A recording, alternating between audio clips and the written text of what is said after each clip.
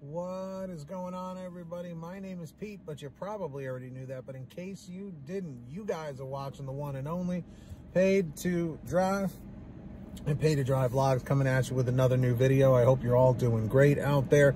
So if you guys drive for app, apps like Grubhub, DoorDash, Uber, Uber Eats, or any of the others, you should definitely be subscribed to this channel with all notifications turned on. That is correct, everybody.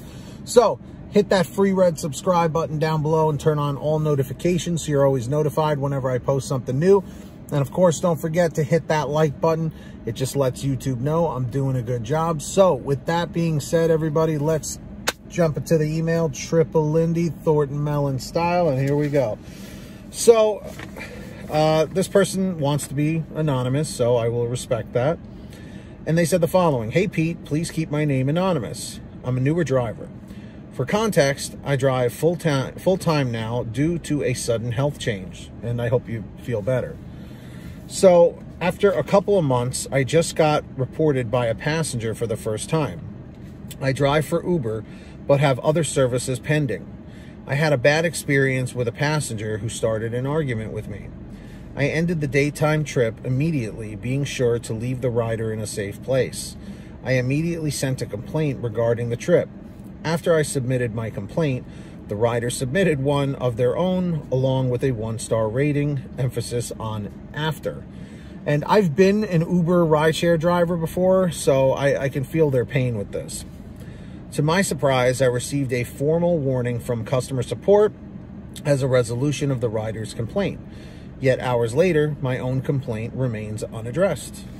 The situation brings a few questions to mind. Do I get deactivated if one more rider submits a complaint, given the warning only indicates multiple complaints are required? Do I need to wear a full-fledged customer service mask so I can report rider community guideline violations without fearing for a retali retaliation complaint? Almost all of my ratings are five stars, but do have single-digit instances of lower ratings. I have I have less than 500, approach, approaching 350 trips so far so a one-star rating stings and sticks out on my profile. If passengers ask me about a low-star rating, what can I tell them without losing their trust, even in the event I don't know why someone gave a low rating? It seems like telling them, I don't know, would train passengers to use customer service to make sure the driver does know, thus come with a guarantee of inevitable deactivation. Yet sharing details when I do know could backfire by merely painting myself in bad light, along with soaring the mood, the mood of the trip. Most people don't think very highly of someone who complains about someone else. For clarity, I would never volunteer such a topic. I truly mean in the if-asked situation. Thanks for the thanks for any tips. Love your channel. So, here's here's how I look at it because I have been uh, an Uber driver and Lyft. Uh, back in 2017, when I first started Paid to Drive, I was doing a bit of rideshare and delivery. And um, then in 2018, in the summer again, I uh, tried doing Uber again for a little while. And it was okay, but for me, it was never uh, my forte. So I would I would also urge you to this particular driver, um, definitely, like you said, you're pending on the other service as well definitely always have uh, DoorDash, Uber Eats, Grubhub, um, you know, the others, always have those as backups in case in, in a situation you do get deactivated. Now, whatever the argument was, whoever, whoever started it, that's completely your business. You don't have to share that with anybody. Um, I wouldn't be too worried or concerned right now, speaking for the fact that the majority of your ratings are are good. Okay, and yes, that one star rating absolutely stings. I was lucky enough uh, in all my Uber and Lyft trips, which uh, they were hundreds of them, that's for sure. I did a lot of them. Um, I didn't get any one star ratings. I did get a couple of four stars, but you know, normally it was always a five star. Um, because I, I have the gift of gab. You guys know that from watching my videos. I can talk and talk and talk and talk and talk. And I know when to shut up too, to let somebody else talk. So again, I don't know what the argument was about that led to this one star rating, but I would say in the future, just keep doing what you feel is right. Remember, you're an independent contractor. It's your vehicle. So what you feel is best is going to be what's best for you. Now, what I would do is I would contact Uber and let them open up a, a support ticket or something for that particular ride let them know your side of what happened and maybe they can put a note down or something so in case there's ever an issue again uh, they can always refer back to that particular note.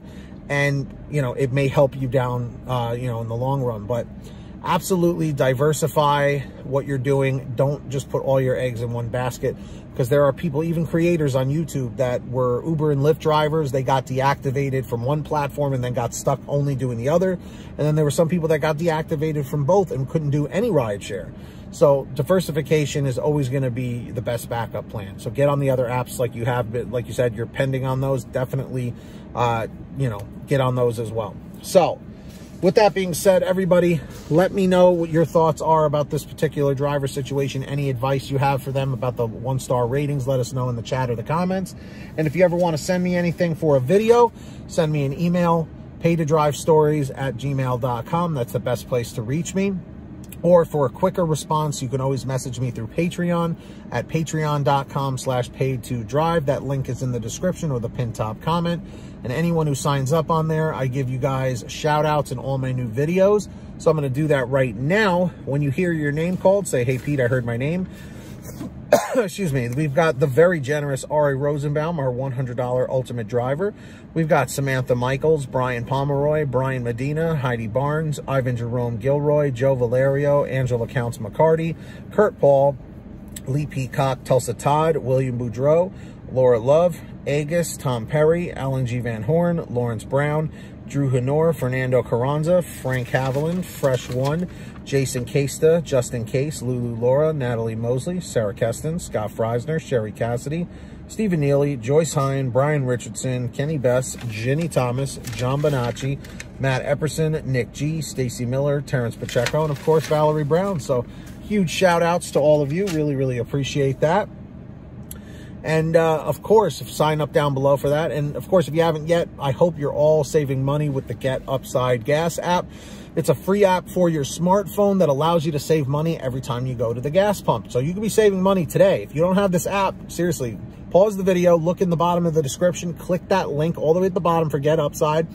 You can, it'll download the app right to your smartphone. Any kind of phone will work. Then you go to your gas station, pump your gas, print out your receipt, take a picture of your receipt with the Get Upside Gas app. And within 48 hours or so, you'll get anywhere from 15 cents to 45 cents a gallon back which is pretty fantastic. And if a friend or family member signs up using your code, you'll get paid every time they pump gas. It's called Get Upside. Links in the description down below. Make sure to download it today. All right. And of course, if you want one of these awesome, all right, all right, all right, all right, all right shirts, you can get one of your own at paidtodrivestore.com. Everything's on sale every day. And of course, of course, aha, we have lots of designs, colors, sizes, you name it. We probably have it. So get all your t-shirts, hoodies, and goodies at paidtodrivestore.com. All right. So uh, if you made it to the end of this video, simply leave a comment saying END 435, E-N-D 435. Just lets me know you made it to the end of the video. And of course, uh, don't forget to hit that free red subscribe button down below and turn on all notifications so you're always notified every time I post something new. And if you wouldn't mind, hit that like button down below. It just lets YouTube know I'm doing a good job. So until next time, get that money, get that honey, keep hustling and keep bustling. And we'll see you next time right here on Paid to Drive and Paid to Drive Vlogs. And as always, drive safe, be well, and we'll see you next time. All right?